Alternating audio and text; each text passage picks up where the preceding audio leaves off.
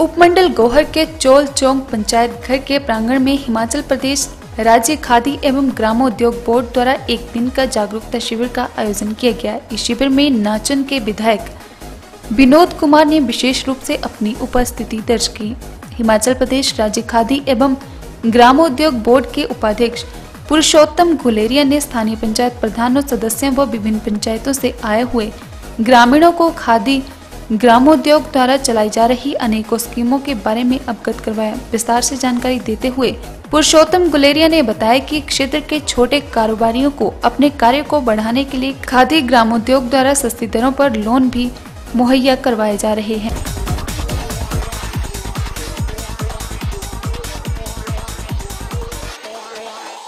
मंडी जिला में अब की बार 29 नए यूनिट स्थापित करने का लक्ष्य रखा गया है व हिमाचल प्रदेश में इस वर्ष चार यूनिट स्थापित की जानी है के लक्ष्य को पूरा कर लिया जाएगा। इस मौके पर नाचन के विधायक विनोद कुमार मुरारी लाल राणा, मनोज ठाकुर, मुकेश चंदेल आदि गणमान्य लोग मौजूद रहे।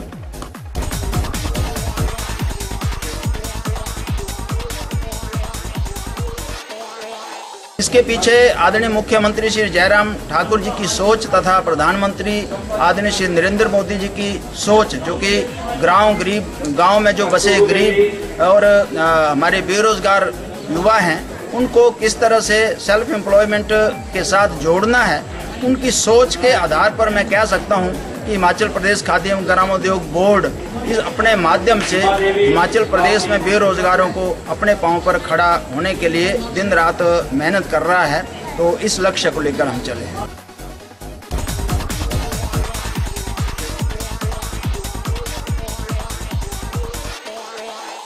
हिमाचल प्रदेश के शक्तिपीठों पर माँ के श्रवण अष्टमी नवरात्र मेले शुरू हो गए हैं। विश्व विख्यात शक्तिपीठ श्री नैना देवी में आरती के साथ ही माता जी के श्रावण अष्टमी नवरात्र मेला बड़ी धूमधाम के साथ शुरू हो गया। नवरात्रों के दौरान लाखों की संख्या में श्रद्धालु माता जी के दरवाजे में पूजा अर्चना के लिए पहुँचे।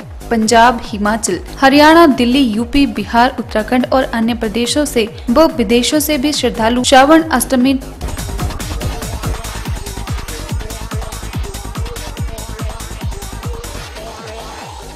नवरात्र पूजन के लिए पहुँचना शुरू हो गए हैं। ये श्रवण अष्टमी मेला 1 अगस्त से लेकर 10 अगस्त तक चलेगा। श्रवण अष्टमी मेले के दृष्टिगत प्रशासन और पुलिस ने सभी तैयारियाँ पूर्ण कर ली हैं और श्रद्धालुओं की सुरक्षा और सुविधा का व्यापक प्रबंध किया गया है। ताकि श्रद्धालुओं को किसी प्रकार की परेशानी न हो। श्रवण अष्टमी मेले के दौरान मंदिर रात को 12 बजे बंद होगा और सुबह 2 बजे खोल दिया जाएगा। मेले के दौरान सिर्फ़ दो घंटे के लिए मंदिर आरती के लिए बंद होगा। हालाँकि प्रथम नवरात्र के उपलक्ष्य पर भारी संख्या में श्रद्धालुओं ने माता जी के दर्शन किए और पूजा अर्चना की और अपने घर परिवार के लिए सुख समृद्धि की कामना की। श्री नैना देवी क्षेत्र को नौ सेक्टरों में विभाजित किया गया है और प्रत्येक सेक्टर में मेला मजिस्ट्रेट तैनात किए गए हैं। लगभग 1200 के करीब पुलिसकर्मी, होमगार्ड के जवान और एक्स सर्विसमैन फौजी तैनात किए गए हैं ताकि कानून एवं व्यवस्था बनी रहे।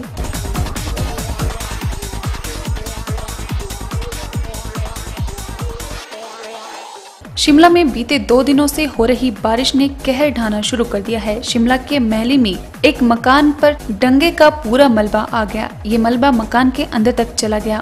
मकान मालिक महेंद्र सिंह का कहना है कि सड़क व साथ बने घरों का पानी डंगे की तरफ़ आता था, जिसकी वजह से दरारें आई और डंगा गिर गया, जिससे मकान को पाँच लाख तक का नुकसान पहुँचा है।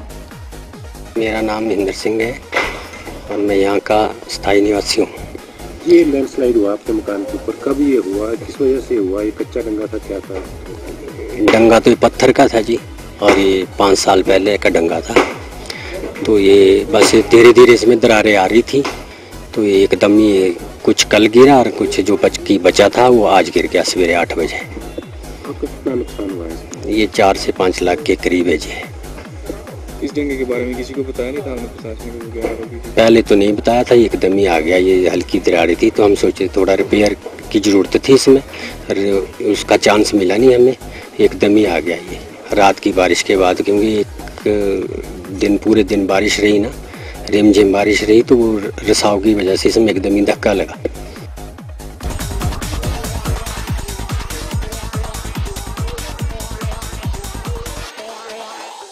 सोलन पीजी कॉलेज में एबीवीपी बेहद उग्र रूप में नज़र आई। एबीवीपी पदाधिकारी ने कॉलेज प्रशासन के खिलाफ जमकर नारेबाजी की और प्रधानाचार्य का घेराव भी किया। सूत्रों की माने तो एबीवीपी ने कॉलेज के भीतर बैठक के लिए प्रधानाचार्य से अनुमति मांगी थी, जो प्रधानाचार्य ने नहीं दी। बस फिर क्या था? इस बात को लेकर एबीवीपी पदाधिकारियों ने कॉलेज में बवाल मचा दिया और जमकर नारेबाजी की। एबीवीपी के सोलन महाविद्यालय इकाई अध्यक्ष शुभम राठौर ने कहा कि वे सुबह से शाम तक विद्यार्थियों की एडमिशन के लिए कार्य कर रहे हैं और छात्र हितों की लड़ाई लड़ रहे हैं।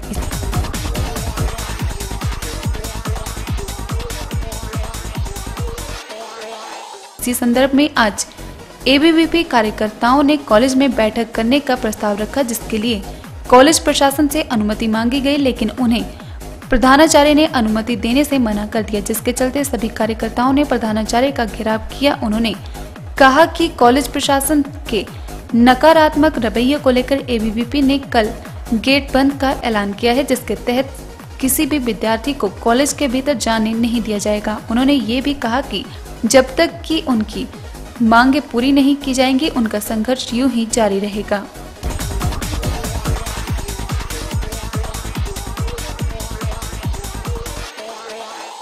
और जो हमारा आने वाला कार्यक्रम अभी रहेगा तो हम कल सोलन कॉलेज बंद करने वाले हैं, इस, जो सोलन कॉलेज है। जब यहाँ हम लोग काम कर रहे हैं, बच्चों की डीएमसी से लेकर बच्चों बच्चों की एडमिशन से लेकर बच्चों की डीएमसी तक के लिए हम यहाँ कॉलेज के अंदर काम कर रहे हैं, पर हमारे को परमिशन नहीं दी जाती।